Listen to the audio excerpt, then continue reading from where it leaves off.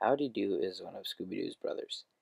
He is one of the Doo quadruplets, along with his brothers and sister Scooby, Skippy, and Ruby.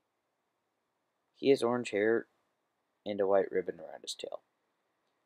He's only appeared in one episode throughout the whole Scooby Doo franchise, which is an episode of A Pup Named Scooby Doo, titled Curse of the Collar, which was the season 2 opener in which he attends the Doo family reunion.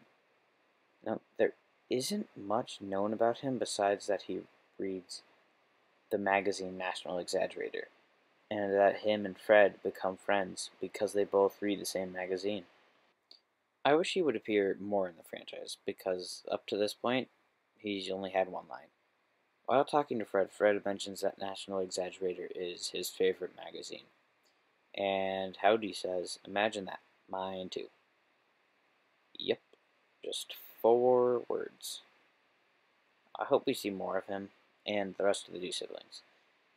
Maybe Scooby and his siblings could team up with the gang after Mumsy and Dada Doo go missing or something like that.